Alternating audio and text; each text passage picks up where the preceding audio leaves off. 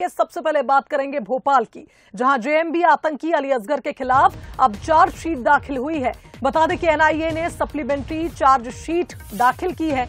JMB और al Qaeda संगठन से अली असगर प्रभावित था। भारत के खिलाफ प्लानिंग बना रहा था।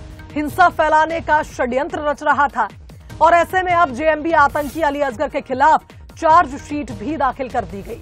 बता दें कि मार्च 2022 में भोपाल से छह लोगों को इस मामले में गिरफ़्तार किया गया था।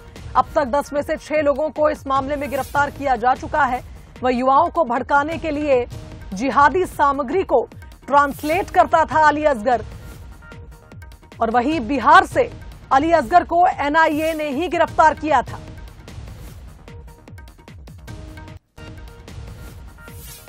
अधिक जानकारी ले लेते हैं। संवाददाता दीपक हमारे साथ फ़ोन लाइन पर जुड़ गए हैं। दीपक अली असगर के खिलाफ चार्जशीट दाखिल हुई है। क्या कुछ जानकारी आपके पास? एंकर कौन है?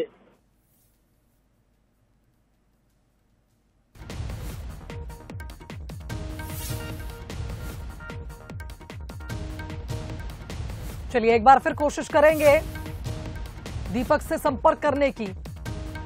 जेएमबी आतंकी अली असगर के खिलाफ चार्जशीट दाखिल हुई। एनआईए ने सप्लीमेंट्री चार्जशीट दाखिल की है। जेएमबी और अलकायदा संगठन से अली असगर प्रभावित था।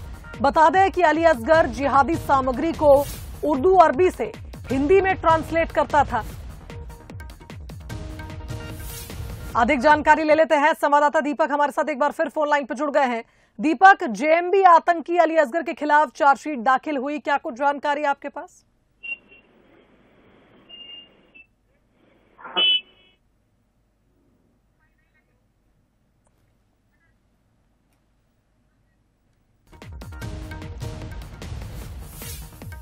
चलिए, दीपक से संपर्क नहीं हो पा रहा है।